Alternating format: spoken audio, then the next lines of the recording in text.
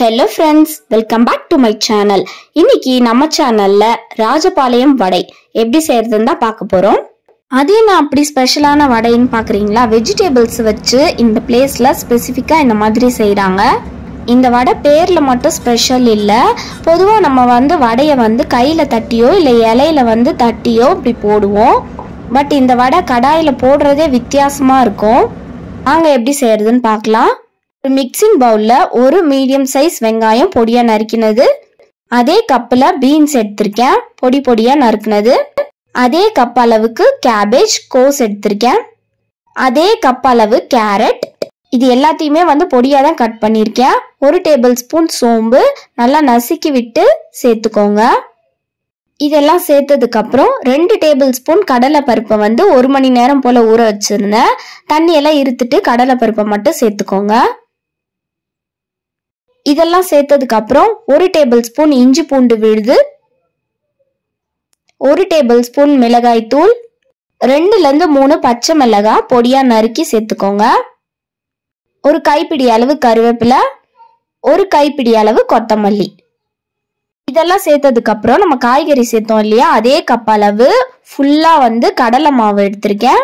அதே கப்பில் அரை கப் அளவு அரிசி மாவு எடுத்து அதையும் சேர்த்துக்கிறேன். தேவையான அளவு உப்பு சேர்த்து நல்லா கலந்து விட்டுக்கணும். நம்ம சேர்த்துருக்கிற எல்லா பொருட்களும் நல்லா மிக்ஸ் ஆகிற அளவுக்கு நல்லா கலந்து விட்டுக்கணும். இஞ்சி பூண்டு பேஸ்ட்லாம் போட்டிருக்கோம் இல்லையா? எல்லாமே நல்லா கலந்து விட்டுக்கணும். நல்லா கலந்து விட்டதுக்கு அப்புறமா கொஞ்சம் கொஞ்சமாக தண்ணி சேர்த்து நல்லா மிக்ஸ் பண்ணிக்கணும்.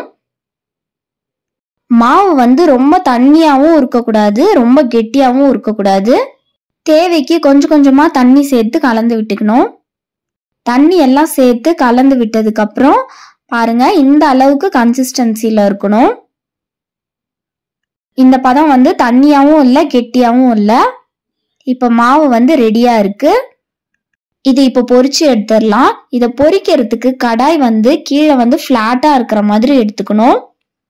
பொறிக்கிறதுக்கு தேவையான அளவு எண்ணெய் சேர்த்ததுக்கு அப்புறம் எண்ணெய் நல்லா காஞ்சதும் நம்ம ஒன்னொன்னா வந்து பொறிச்சு எடுத்துடலாம். கரண்டியில் எடுத்து ஊத்துறதால ஒரு அரை சென்டிமீட்டர் அளவு கொஞ்சம் கனமா தான் இருக்கும். ஸோ நல்லா வெந்ததுக்கப்புறம் நம்ம திருப்பி போடணும்.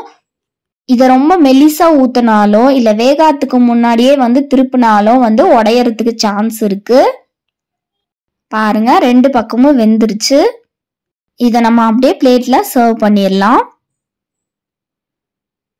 பாருங்க நல்லா கிறிஸ்பியாக வடை தயாராகிருச்சு இதே போல மீதி இருக்க மாவையும் நம்ம ஒன்னொன்னா போட்டு பொறிச்சு எடுத்துடலாம். பாருங்க கரண்டில இப்படி எடுத்துட்டு லைட்டா மேல ப்ரெஸ் பண்ணி விட்டாலே போதும்.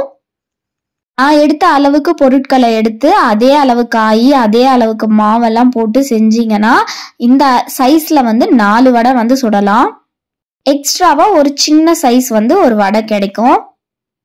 வெஜிடபிள்ஸ்லாம் வச்சு ஈஸியாக செய்யக்கூடிய இந்த வடையை நீங்களும் உங்கள் வீட்டில் ட்ரை பண்ணி பாருங்கள் இந்த வீடியோ பிடிச்சிருக்கோன்னு நினைக்கிறேன். பிடிச்சிருந்தா லைக் பண்ணவும் ஷேர் பண்ணவும் சப்ஸ்கிரைப் பண்ணவும் மறக்காதீங்க.